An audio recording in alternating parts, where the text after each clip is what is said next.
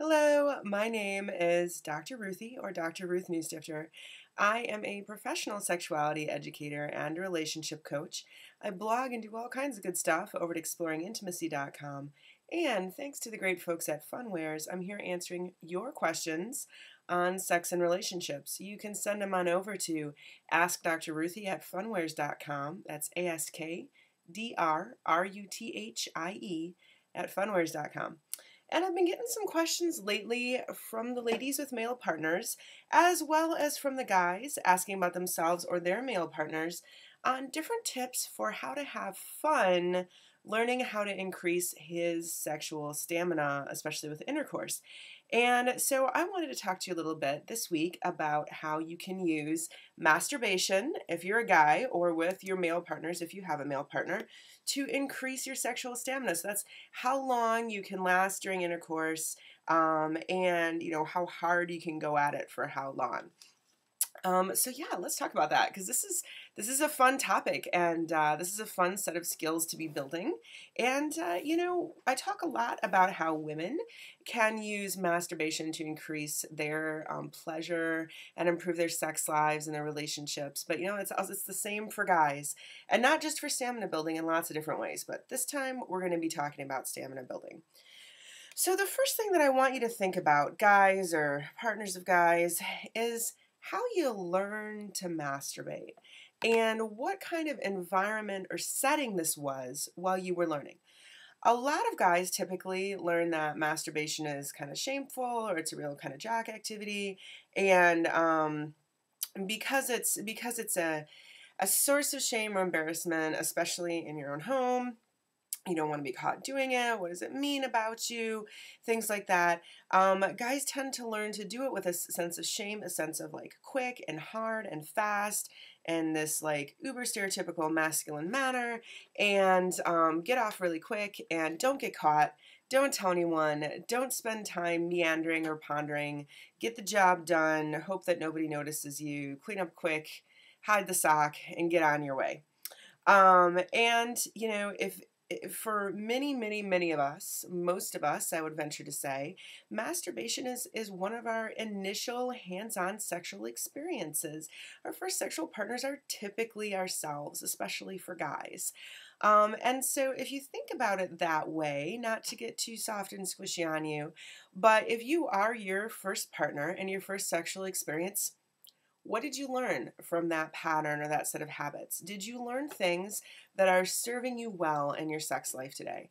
Now, by all means, masturbation, jacking off, wanking has tons of wonderful purposes, and there is absolutely nothing wrong with you know the wham bam thank you to myself method of masturbation um, that has very much has its place is fantastic but all things in balance, all good things in balance, right? If this is the only way that you're masturbating, guys, then you're missing out. And you're also missing out on the opportunity to use masturbation to teach you more things about yourself and to improve your sexual skill set with your partners. So, um, you know, with that in mind, it makes sense that even though this might be this really basic activity that comes so naturally and you've been doing it since longer than you care to admit or remember, that uh, maybe it is time to revisit it and not just learn some crazy new masturbation techniques, but actually learn how we can incorporate that into our lives in a way that improves our relationship and can potentially improve our stamina. So, how do we do this? Well, now that we recognize that masturbation is a powerful tool, no pun intended, for improving your sex life, guys, I also want to talk about it um, and rec- clear up uh, that I'm not just talking about priming the pump here. So, lots of guys kind of exchange the knowledge that you know, you should masturbate before going out on a date or something like that. It will help you to last longer because it, it kind of takes the edge off of the sexual desire. And, and also with a little bit of recovery time, depending on your age and your body and all that stuff, it, it will help you last longer too because you won't be able to get off quite as quickly right afterwards. So, you know, that, that can be valuable knowledge for many guys, but that is not what I'm talking about here. I'm talking about actually investing some good quality time in yourself, gentlemen. Um, masturbating and using it as a way to learn more about yourself sexually can help you understand your sexual pacing and do it better. Yes, um, sexual pacing, when you go faster, when you go slower, when to increase, when to reduce, and not just basing that off your partner's pleasure, which is very important, but also basing it off your knowledge of your own body and how your own pacing works best. So, in other words, there are alternatives to rushing to the finish line um, even with masturbation. So it can help us understand our pacing. Guys, it can help you focus more fully on feeling a whole body pleasure. You know, what if I told you that by concentrating on your pleasure and tuning into your sensations, you could feel orgasmic all over your body? Yes, there are going to be certain parts of your body, probably your package, that feel the orgasm the strongest, but you know, you can feel it from your head to your toes, but not if you're rushing and not if you're not mindful or out of touch with your own pleasure processes in your body. It can also help you to learn how to become more intense and then back off in order to increase your stamina, which is kind of the point of this video, but all this is pretty good, you know, important, fun stuff to learn. In other words, there are times to hit it hard and there are times to back off and be more sensual and to use more grinding techniques instead of thrusting techniques to appreciate the different kinds of sensations of penetration and intercourse and the different ways that you do it and the different ways you move your hips, right? Um, the euphemism of dancing together for sex. That can definitely apply, guys. And think about all the different dance moves that can happen. If somebody just went on the dance floor and just like thrusted away like crazy, people would leave a wide circle and leave them be. Um, but uh, the person who you know combines different moves of intensity and seduction will find a lot of dance partners, and it's the same way sexually speaking. It helps you to have people want to have sex with you more often and enjoy it even more. So. Um, it, learning how to become more intense than back off, and you can judge a lot of that based on what you learn about yourself from masturbating. How do we do all of this? Well, my first suggestion is to consider getting yourself a good masturbation toy.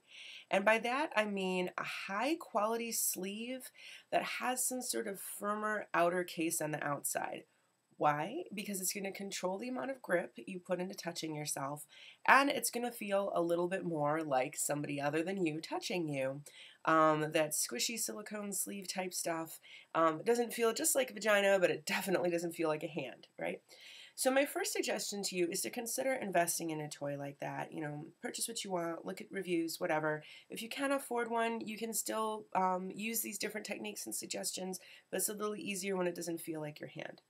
The next thing I want you to do is to practice. Well, first of all, just masturbate like you normally do, but actually set the timer and pay attention to how much time you take on it. And um, pay a little bit of attention to what your natural habits are, how fast you tend to go, how you tend to pace yourself. Do you pick, you know, the hottest fantasy you possibly can and just go for it? Or do you tend to linger more? Do you linger more than you want to? Whatever the case may be. Then, once you've paid attention to that, maybe written a few notes for yourself afterwards when you've woken up from your nap or whatever the case may be later on, gotten back from the break room, whatever. Um, and then, uh, you know, whatever job you have. Um, then go ahead and make some goals for how you would like to change as a lover, how you would like to be different from that masturbation episode, and then begin to apply those goals to your masturbation some of the time. Some of the time, half the time, maybe, not all the time. Um, and so, if your goal is to last longer, to learn your pace yourself better, the next time that you masturbate, concentrate on where you're feeling your pleasure and where your sensations in your body about masturbation. Um, not just in the genital area, but how do your toes move? How does your brow move? How does your hands and your torso and your breathing and all this happen? And become more aware of it. You'll start to recognize physical signs of getting close. Learn to recognize those and how to back off through your masturbation so that you can get close and then back off, get close and then back off. And you can do the same thing with your partner. It's going to increase your own pleasure and it's going to change your stamina and your pacing a great deal. Um, you know, take your time, see what impacts your mood, and have fun having this kind of homework that gives you a higher level of awareness about your body. And you, if you want, you can also strive to do this, you know, forward, slow down, forward, slow down, or just slow down, slow down, slow down, as the case may be, to teach yourself to learn how to masturbate for longer periods of time. Doesn't mean you have to be slow every time, but it means that you are increasing your capability of mastering your pacing and your stamina, and you can take that skill right on over to your partners. I'm Dr. Ruthie. I hope that this helps you to reclaim your masturbation and build some new habits that help you in your love life. Thanks to funwares.com, and I will see you in the next video.